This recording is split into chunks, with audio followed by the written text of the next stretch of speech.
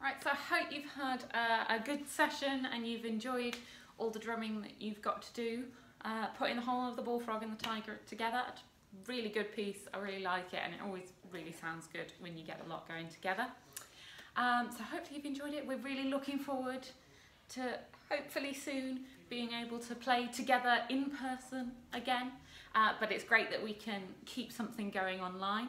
If you can let us know anything that you think about these sessions in the comments below, that would be really great. We love to have your feedback, love to hear from you. Um, and that would be absolutely amazing. Until then, we really hope you enjoy yourselves. Have a nice evening. Go and get a drink of water because hopefully you've worked hard. And somewhere around me, there should be a link to our traditional closing of a session if you want to have a go at that, it's our traditional Japanese words. Um, so yeah, click on that and we look forward to seeing you again soon.